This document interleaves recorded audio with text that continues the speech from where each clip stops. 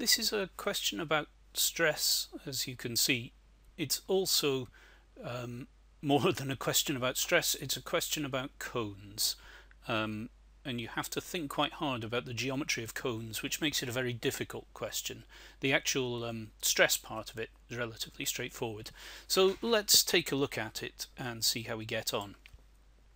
Um, I'm just going to draw a cone side on. It's a very generic cone and you'll see as I hope you um, are happy with that a cone side on looks like a triangle. Um, and in this problem we don't have a whole cone we've got a fraction of a cone but I just want to start by looking at something about a whole cone um, which has some height h and some radius at the base r. I'm going to say r um, subscript b to show that I'm talking about the radius at the base and then what I'm going to be interested in is if we come down a certain distance from the uh, top of the cone and we'll call that distance y what's the radius there? And for that we use the notation r brackets y which means r is a function of y. So as y changes r is going to change.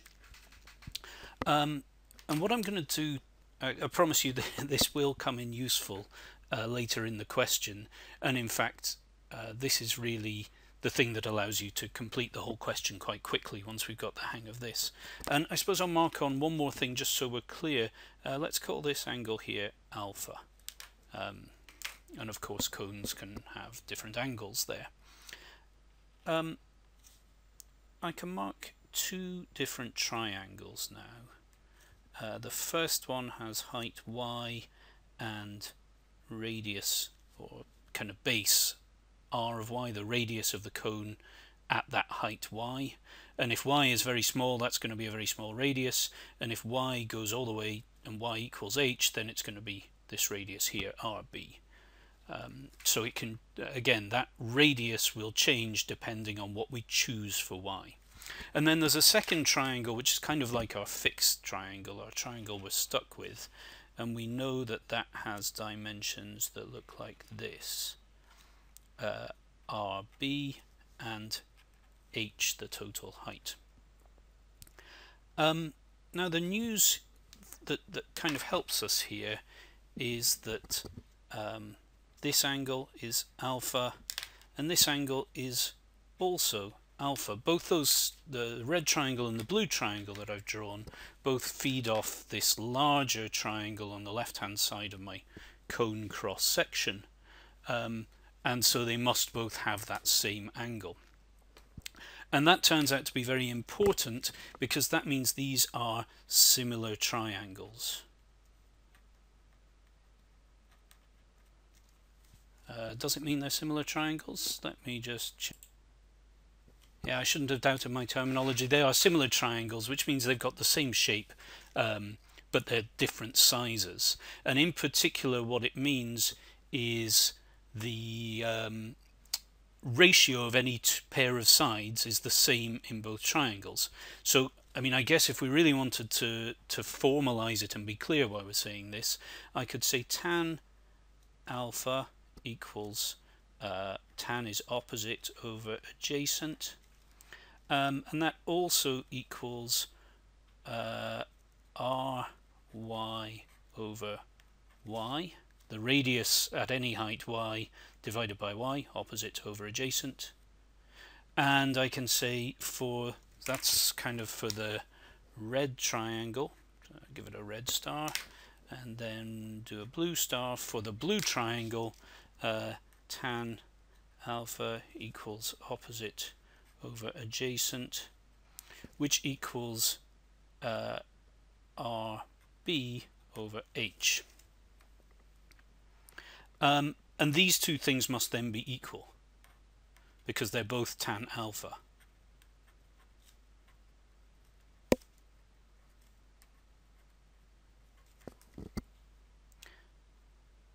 And that turns out to be useful because now I can say r of y divided by y equals rb divided by h and that means that r of y, the radius at any height y, equals rb times y over h. Um, this is useful. I'm just going to make a note of that as a kind of useful sub-conclusion. I'll underline it. Uh, this is useful because in our actual problem, I'm just going to sketch on here and then I'll come to a new page. We're kind of dealing with three different uh, cones. First of all, there's the uh, cone that's been removed that no longer exists. So you, you're told it's some kind of a pedestal made of cones. So that green zone has been removed. And then we're interested in the weight underneath or the stress underneath some other part of the cone. And in the second part, that's going to be the stress um, kind of here. Um, halfway up the pedestal, I think it wants the the stress to be calculated. Um, and so um, we're going to be interested in this volume and finally I guess we also might need to know uh, this volume. And so we need to be able to calculate the volume of three cones potentially. Uh, the green cone, uh, green plus red cone, and there's going to be a green plus red plus blue. Uh, sorry, I know this is uh, taking a while with all the different pens, but just to be clear,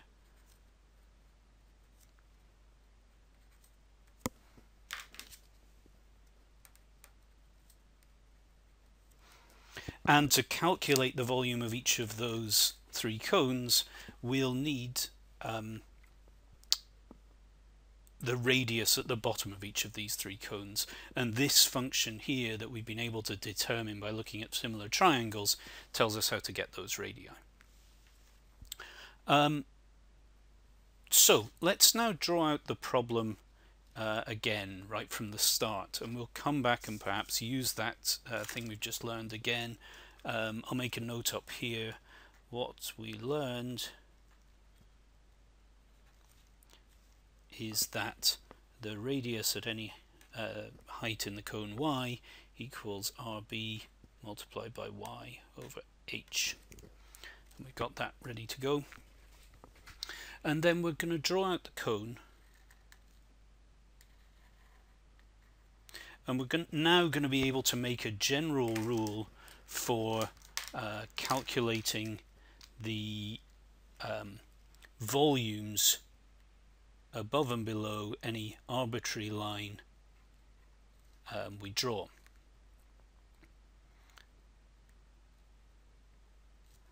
Uh, so what I'm going to do is mark on three heights y1 y2 and h which we know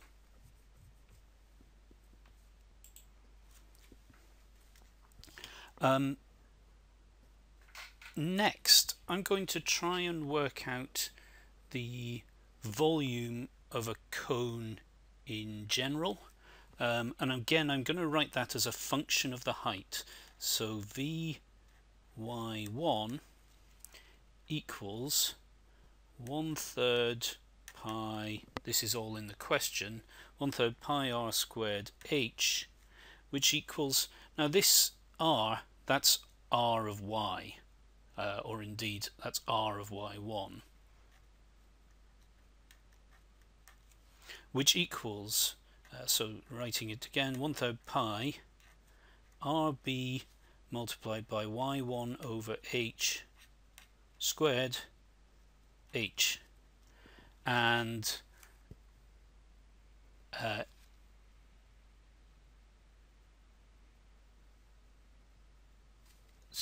also confusingly uh, sorry this H isn't the height the total height anymore um, it's one that that should really say y1 right if we're looking for the volume of this cone here it's one third pi uh, r at y1 this radius squared times the height of that cone, which is y1. So this should be y1. Um, so we've got something there. It's going to involve y1 cubed divided by h squared. It looks a little bit um, messy, but we'll come back and look at that. The volume at y2 is going to be pretty much the same thing. I'm going to write it out directly. One third pi rb y2 over h all squared times y2 and then um, within these things we've got one third pi rb squared over h squared in both terms.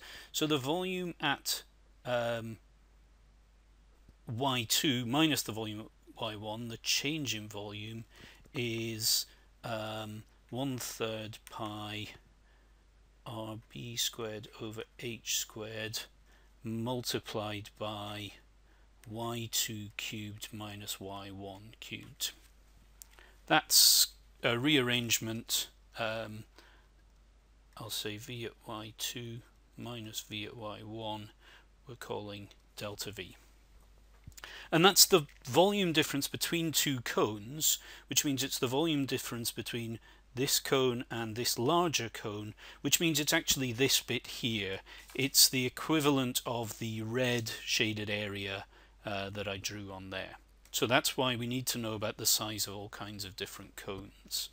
Um, once we know the volume, we can use um, mass is rho v, and we can get the change in mass between those two bits of uh, cone is one third uh, rho pi so I've just multiplied all of this by rho basically rb squared over h squared multiplied by y2 cubed minus y1 cubed. Um, and then the change in weight well weight equals mass times gravity so delta w which is a, um, a force is one third rho g pi rb squared over h squared uh, that's just a scribble uh, y2 cubed minus y1 cubed um, that is the weight of this uh, section here or alternatively it's the weight of this red shaded area on its own, the red shaded volume on its own. Um, so first of all we found out the volume of that red shaded bit, then we turned that into a mass and then we turned it into a weight. So if we want to know, just going back to our um, original problem, it's kind of the weight of this bit that's been made invisible here. Um, so we've cut away the top of the cone that's why we're not including that in the weight um, but this section here has some weight. And the stress at Z will basically be the area um, of the cone at Z. Remembering that stress is force over area it'll be the area of the cone at Z um, the force the weight of that bit divided by the area of the cone at Z. Um, so we can say then sigma at y2 move this up so it's clear. Uh, the stress at y2 equals that uh, weight which is uh, the weight of the, the semi pedestal above divided by the area which is um, that weight divided by uh, pi uh, rb over h squared y2 squared. Um, the area is pi r squared, which is pi r of y2 squared, uh, which is then this. And when you calculate all of that out, um, we're going to get various things cancelling uh, you've got to be pretty good with your algebra here and I work out that it comes to one third rho g y2 cubed minus y1 cubed all over y2 squared. So that's the stress at any height in this pedestal depending on the height of the pedestal and the height of the um, area, the place where you're measuring that stress. Um, okay, so now we've got nearly everything that we need uh, to solve the problem.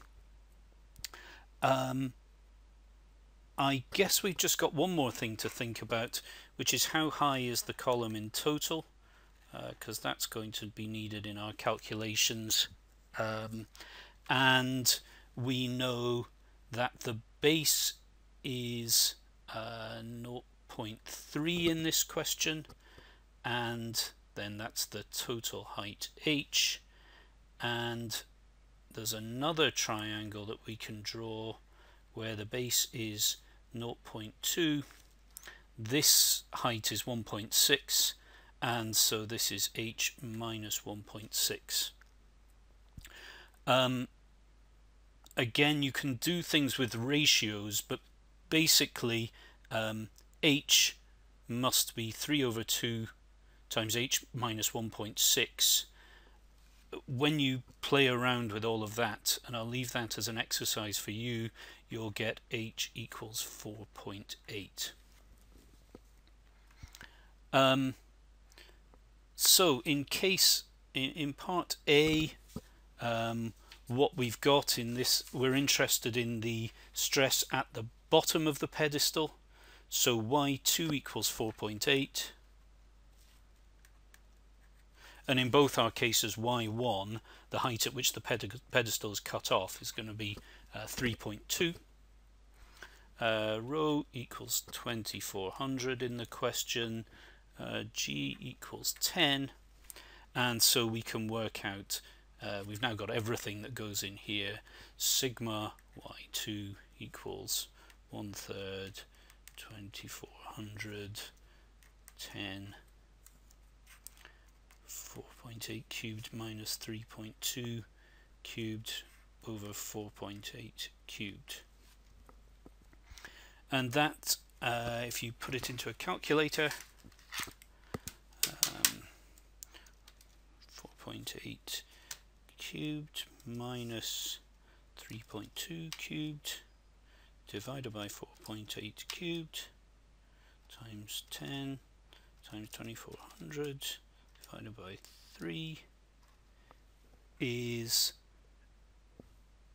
ha that wasn't the answer I was expecting. Ah, uh, sorry, that isn't cubed, that's squared. Uh, that's where I've gone wrong. Let's try that again. 4.8 cubed minus 3.2 cubed divided by 4.8 squared times 10 times 2400 divided by 3 is 27022 uh, pascals, which is about 27 kilopascals. And uh, let's just do B, where we're interested in the stress halfway up.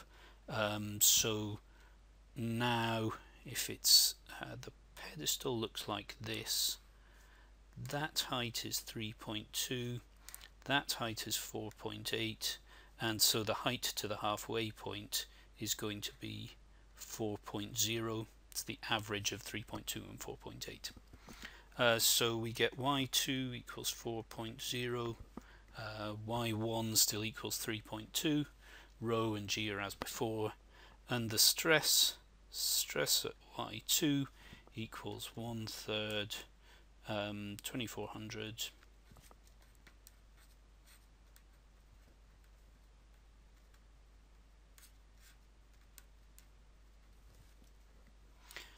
um, and um, I won't put that all the way through my calculator. I've got an answer here. I know that's going to be 15.6 kilopascals. And those are the two answers. Um, so just to be clear um, a difficult question. It's difficult to keep your head uh, straight on the geometry. There's there's a lot going on. Um, and I would say you know, it's really a question about uh, turning things into mathematical language. The the actual stress calculation, the only thing that we really had to do that was related to stress was this step here where we said stress is force over area. Everything else was really finding that force and finding that area. Um, so that's how you do that question.